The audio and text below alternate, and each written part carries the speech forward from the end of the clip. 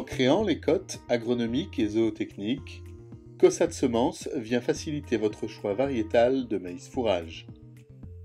Ces deux cotes intègrent des paramètres techniques clés permettant de mesurer concrètement les performances des variétés au champ et à l'auge.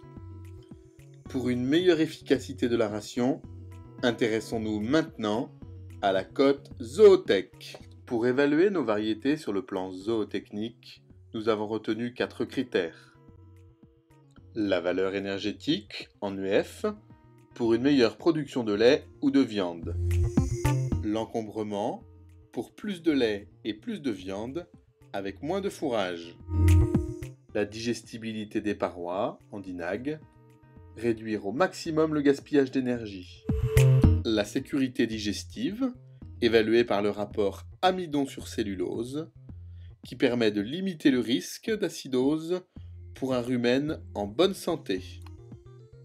Plusieurs essais à travers l'Europe nous permettent d'analyser tous les ans nos variétés sur chacun de ces critères. En fonction de leur performance, les variétés reçoivent de 1 à 5 étoiles sur la cote Zootech.